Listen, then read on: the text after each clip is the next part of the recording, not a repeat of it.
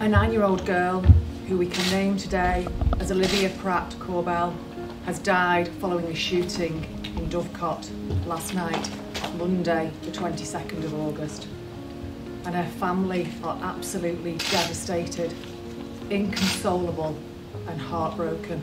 Everyone that she met, they all fell in love with her. She left a mark on everyone that she met.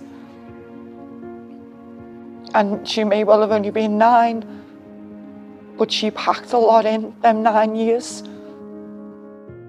Firstly, my appeal is to the person responsible for this horrendous attack on a nine year old schoolgirl to recognise the pain and anguish that this has caused her family. I want that individual to hand themselves in. You know you've done wrong, so you need to own up. Like I've taught my kids. You do something wrong, you own up to it. I struggle to find the words to describe that individual and what they've done.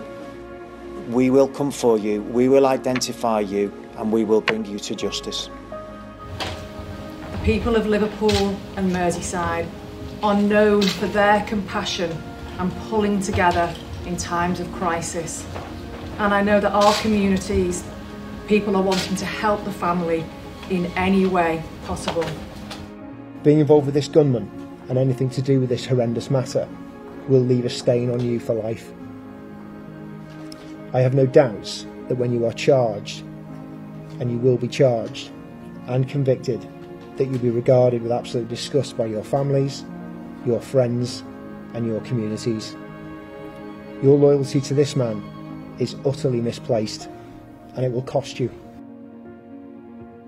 The Crown Prosecution Service has authorised Merseyside Police to charge Thomas Cashman, 34, from Grenadier Drive, West Derby, with the murder of nine year old Olivia Pratt Korbel, also the attempted murder of Joseph Nee and Cheryl Korbel on the 22nd of August 2022. Cashman additionally has been charged with two counts of possession of a firearm with intent to endanger life.